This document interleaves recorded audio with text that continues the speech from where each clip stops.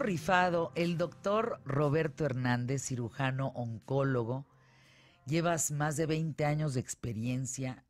Lideraste eh, un proyecto muy interesante, Dignicap México, una técnica pionera en la prevención de la caída del pelo, del cabello, pues, durante los tratamientos de quimioterapia. Y te preguntaba, Roberto, si la quimioterapia sigue siendo igual de agresiva hoy en día o ha, o ha mejorado en ese sentido. Claro, buenas tardes, gracias por la invitación. Así es, hace ya algunos años que empezamos con este eh, protocolo, con este equipo innovador en México, que ya tenía algunos años en, en Europa, es un equipo sueco. Inclusive te puedo decir que empezamos a usarlo aquí primero en México antes que en Estados Unidos. Muy bien. Sí. ¿Y qué hace ese equipo? Este, este equipo lo que hace es que previene la, caída del cabello por la quimioterapia. Eh, pues como sabemos, es uno de los efectos secundarios eh, más frecuentes que tiene la quimioterapia, la pérdida del cabello, la alopecia. Y pues este tiene un efecto a nivel eh, psicológico, un impacto a nivel social del, del, paciente, el entorno familiar, el entorno de su trabajo eh, y personal, ¿no? Que, que, les llega a repercutir bastante. Y no teníamos un algo para prevenirlo, ¿no? Porque ya tenemos, por ejemplo... ¿Y tú lo trajiste? Eh, nosotros lo trajimos, así es, eh, con el equipo de, de, Dignicap México y empezamos a usarlo aquí. fue hace ya bastantes, en el 10 años más o menos, los que empezamos con ese equipo aquí en México. Y pues fue algo innovador, fue, fue empezar, fue empezar con ese reto. Este, Pero ¿qué hace el equipo? Explícanos, tenemos cuatro minutos. Es un, un, gorro que se pone que tiene unos canales en su interior, un, equipo, una gorra de silicón, y por estos canales corre un líquido frío que viene de un, de un módulo, un aparato grande, y eh, es alrededor entre 3 y 5 grados centígrados que, eh, que circula este, este líquido. Y lo que hace es que produce una vasoconstricción, esto quiere decir que las arterias y las venas del cuero cabelludo reducen su tamaño y evitan que llegue en ese momento pues toda la toxicidad de la quimioterapia. ¿Qué tal? Y aparte eh, prolonga la vida del folículo piloso, porque el folículo piloso a todos nosotros se nos, se nos cae el cabello todos los días, ¿no? Obviamente por la vida que tiene el folículo piloso.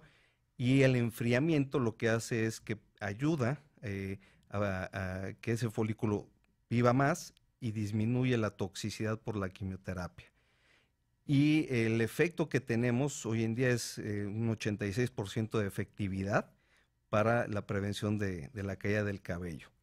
Obviamente, eh, desgraciadamente, como sabemos, de los cánceres más frecuentes hoy en día es el cáncer de mama y es donde tenemos eh, pues, la mayor cantidad de estudios este, de este tipo de tratamiento, pero hoy en día aquí en México tenemos ya de cáncer de pulmón, cáncer de próstata, de vejiga también. Entre, en todos los casos el pelo se cae.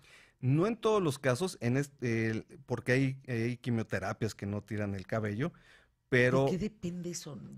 Deberíamos hacer un programa del nivel de la toxicidad, o sea, cómo, cómo cómo funciona una quimioterapia en tu cuerpo, pues, qué es lo que hace, porque entiendo mata lo malo, pero también lo bueno.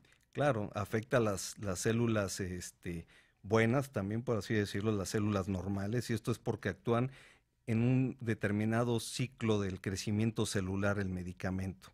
Entonces lo que hace es que las células cancerosas que están en esa fase del ciclo celular actúa ahí y las mata, ¿no? Y también las células normales o, buenas del, Habría que hablar de esto, Emilio, sin duda alguna, para enterarnos. ¿Y cómo no ha habido un, una nueva propuesta o algo eh, avanzado? Pues estamos hablando de cuánto tiempo, desde hace cuánto tiempo existe la quimioterapia. bueno, ¿Y, y no ha avanzado en ese sentido o estoy diciendo una locura? Sí, han, sí ha habido avances, pero bueno, el lo que hace el medicamento es de matar células cancerosas y desgraciadamente pues también afecta a las células normales. Recordar que el cáncer se empezó a estudiar como tal, los institutos este, mundiales del cáncer se hicieron en 1940.